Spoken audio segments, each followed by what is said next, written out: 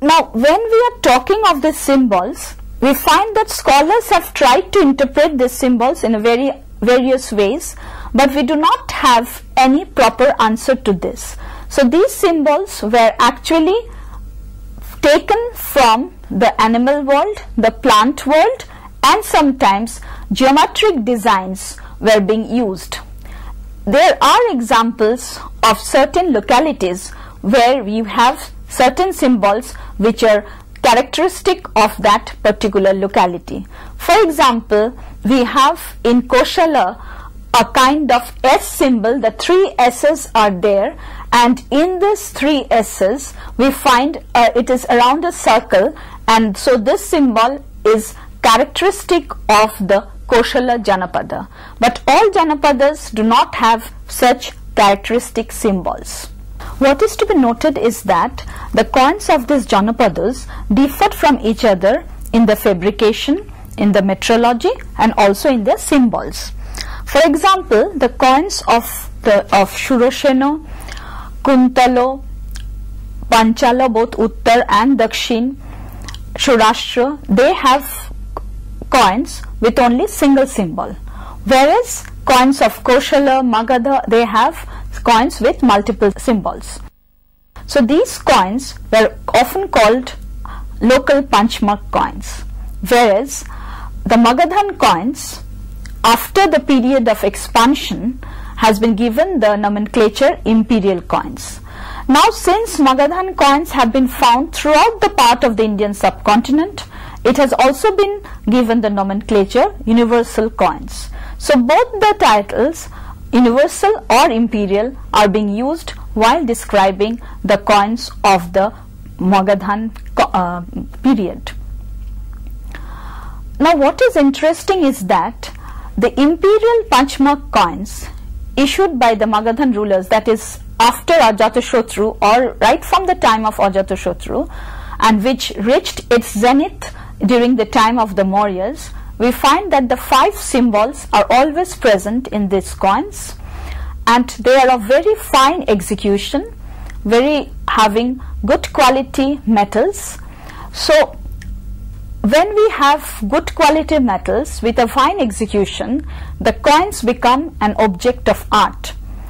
But what is striking is that the common Indian forms, for example, the Ujjain symbol or the hollow and cross symbol which is very common to the taxila region, these symbols are not found in the punchmark coins of the imperial period.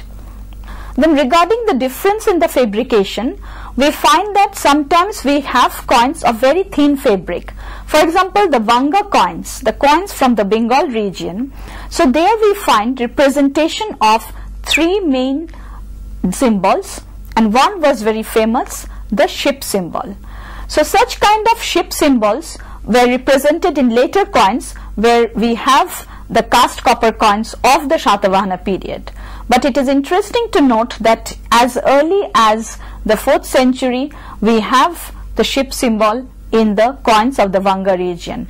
Another symbol common to the Vanga region was wheel, but the flan was quite thin and flat. The flans of Avanti coins, Andhra coins were also thin and in Andhra coins or in the coins of the Asmaka region where uh, the, both the coins of the Asmaka region and the Andhra were similar we have the elephant very much represented and it was a common type. Coming to the coins of the Koshalas we find that the coins of the Koshalas could be divided into two varieties. So one had a larger flan, thin larger flan and with devices in the obverse as well as devices in the reverse but the obverse was quite battered. This was because you have many devices which were punched in the reverse. But this did not happen in the other variety where the flan was thick. So in spite of having reverse devices, the obverse symbols while quite understandable and recognized. And though we have not been able to understand the importance or understand the idea behind the symbols, what is noticeable is that these symbols had a kind of system, had a kind of order.